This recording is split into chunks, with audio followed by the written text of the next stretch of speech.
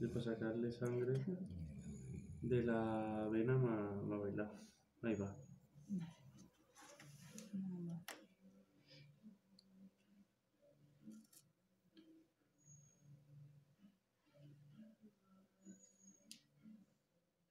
Pero placa. no. Era el- al expirar o al inspirar. Todo el rato. To- O sea, a todos lados. Yo creo que era al inspirar más que. Pero es que Vale. Eh, con el sonido no se escuchaba más. El pulmón. Ya. La- no sé, era el sonido era como de la boca. ¿Ha dejado de comer y demás o el No, sigue comiendo.